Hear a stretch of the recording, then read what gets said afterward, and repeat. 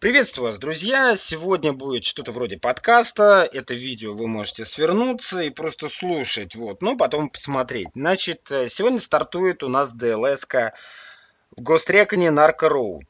Что же это за DLS такая? Она достаточно скудная, на мой взгляд. Это лидер байкеров, босс один, второй сумасшедший гонщик, это босс второй, и поклонник гонок, босс третий. Все, на этом ДЛС заканчивается.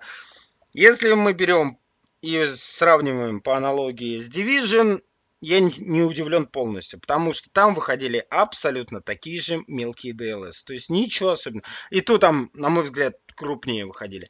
Но я бы на этом закончил видео, но выходит дополнение к этому, тоже с 18 числа, то есть сегодняшнего дня.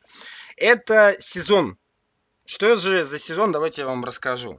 Значит, каждую неделю вам будет выдаваться 5 заданий. С 18 апреля данный сезон будет идти по 26 мая. 6 недель. То есть 6 недель по 5 заданий. Значит, 30 э, заданий, соответственно, вы будете получать за сезон.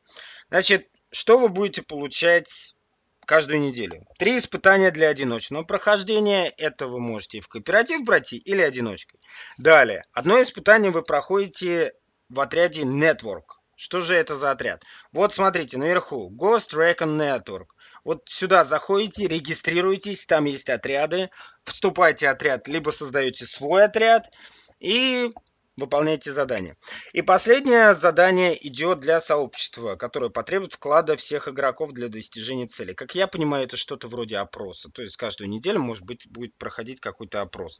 Ну, я считаю это интересно. То есть вы и одиночка, и в отряде, и еще в жизни сообщества участвуете.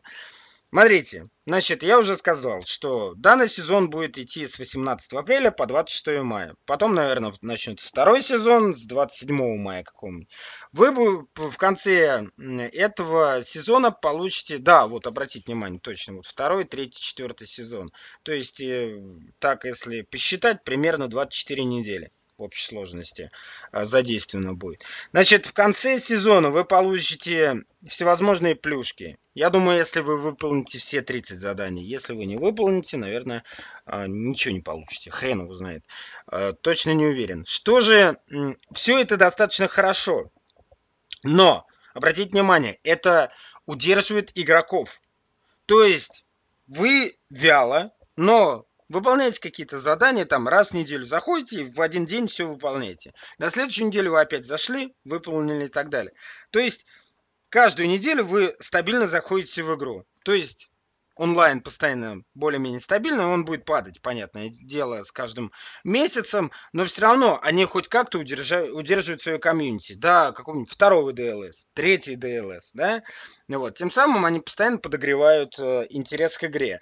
Может быть, они еще там что-то выпустят и так далее, может быть, какое-то еще событие будет, вот этого вот этого не хватало реально в Division, чтобы онлайн постоянно был, ну, более-менее стабильный, да, потому что в таких играх, я считаю, всяких ММОшках и так далее, они, э, вот такой э, онлайн должен стабильный быть, то есть э, какое-то определенное количество игроков постоянно в игре, кто-то приходит, кто-то уходит и так далее, вот, и вот такими сезонами они постоянно поддерживают интерес к игре, еще раз говорю, в Division такого нет, поэтому выходит там DLS-ка, все посмотрели, неделю-две поиграли, и начинается спад. И вот так на протяжении уже года с небольшим.